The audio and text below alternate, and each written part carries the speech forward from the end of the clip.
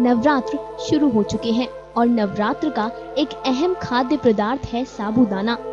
Social media पर कई sites ऐसी हैं जो ये दावा करती हैं कि साबूदाना मांसाहारी है और इसके पीछे एक लंबी चौड़ी कहानी भी बताई जाती है, जबकि एक तबके के लोग ये कहते हैं कि साबूदाना मांसाहारी नहीं, शुद्ध शाकाहारी है। अब सवाल ये उठता है कि आखिर साबूदाने का सच क्या है? क्या साबूदाना मांसाहारी है? क्या व्रत में साबुदाने को प्रयोग किया जा सकता है? आज इन तमाम सवालों के जवाब देंगे हम आपको अपनी इस रिपोर्ट में। सबसे पहले आपको बताएँगे दोनों तरफ़ के दावे।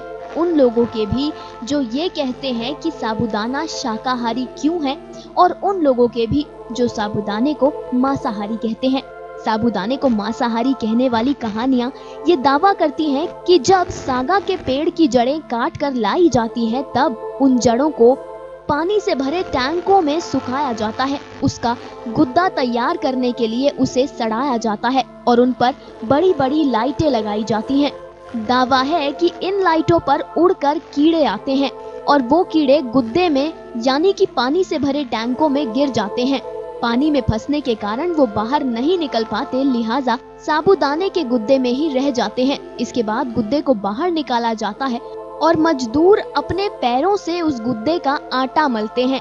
कहा यह भी जाता है कि उस गुद्दे को साफ़ किए बिना ही कीड़े मकोड़ों के साथ ही उसका आटा गूंद दिया जाता है, जिसके बाद वो कीड़े मकोड़े पूरे तरीके से साबुदाने में मिल जाते हैं और यहाँ साबुदाना मांसाहारी हो जाता है।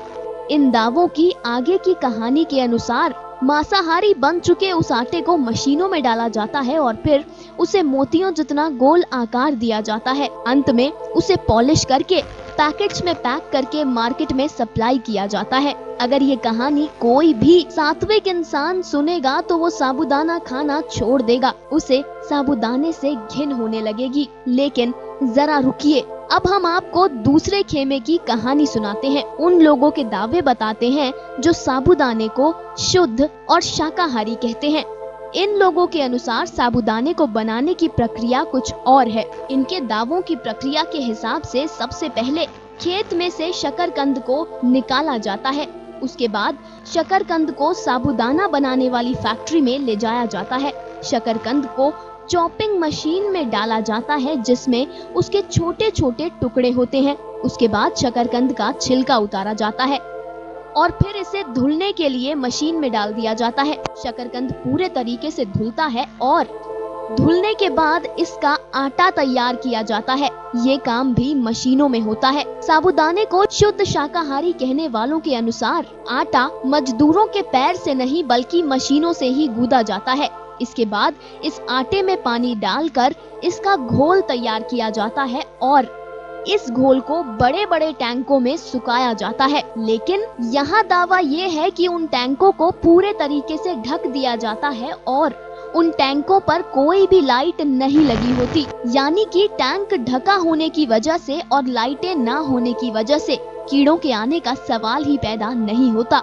आगे के दावों के अनुसार, जब वो घोल सूख जाता है तो वो कुछ बड़े बड़े पत्थरों के आकार में फैक्ट्री के अंदर ले जाया जाता है और फिर इनको पीसा जाता है, इनका पाउडर बनाया जाता है। पाउडर बनाने के बाद छोटे छोटे मोतियों के आकार में साबुदाना मशीनों में बनकर तैयार होता है। इस प्रक्रिया में कहीं भी साबुदाना मांसाहारी साबित नहीं होता। इस प्रक्रिया में ना तो मजदूर साबुदाने का आटा पैरों से गूंदते हैं और ना ही टैंक पर कोई बड़ी लाइटों का इस्तेमाल होता है जिससे मक्खी व मच्छर आए। अब सवाल ये उठता है कि इन दोनों दावों में से सच्चा दावा कौन सा है? क्या साबुदाना मांसाहारी है या साबुदाना शाकाहारी है? आपको बता दें कि साबुदाना शाकाहारी ही है।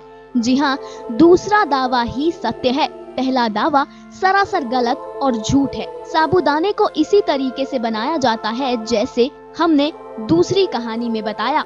कोई भी मजदूर साबुदाने का आटा पैर से नहीं गूंदते। आपको बता दें कि ये आटा भारी मात्रा में गूंदा जाता है। ऐसे में मजदूर अगर पैरों से आटा गूंदेंगे तो उनका हाल बेहाल हो जाएगा। साबुदाना बनाने का पूरा काम मशीनों के ज़रिए ही होता है। साबुदाने का आटा भी मशीनों में गूंदा जाता है। और ये बात भी पूरे तरीके से सत्य है कि जहाँ पर साबुदाने का घोल सूखता है, वो टैंक ढका हुआ होता है और उसमें कोई भी लाइटें नहीं होती। इस बात की पुष्टि बकायदा फैक्ट्रियों में जाकर की जा सकती है। आपको बता दें कि तमिलनाडु, केरल और आंध्र प्रदेश में साबुदाने की फैक्ट्रियाँ हैं और यहीं से ही साबुदाना भारी मात्रा में देश भर में सप्लाई होता है। अब ऐसे में अगर फैक्ट्री में साबुदाना बनने की प्रक्रिया भर से ही साबुदाना मांसाहारी हो गया तो ऐसे में चीनी भी मांसाहारी हुई, क्योंकि चीनी भी फैक्ट्री में ही बनती है, चीनी भी फैक्ट्री में ही आकार लेती है, और चीनी को बनाने की भी लंबी चौड़ी प्रक्रिया होती है। लेकिन हमारी सलाह तो ये है कि आप इन नवरात्रों में साबुदाने को बेझिझक प्रयोग करें। साबुदाना मांसाहारी बिल्कुल नहीं है। जो रिपोर्ट्स ये दावा करती हैं कि साबुदाना मांसाहारी है, वो महज अफवाह और गलत प्रचार के अलावा कुछ भी नहीं है। ऐसे दावों में शून्य प्रतिशत सत्यता है। आशा करते हैं कि हमारी रिपोर्ट से साबुदाने को लेकर आपके जहन में जितने भी सवाल होंगे, उनके जवाब आपको मिल गए होंगे। कथा सागर की पूरी टीम सदैव आपके सुखद जीवन की कामना करती है। Katha Sagar, desk report.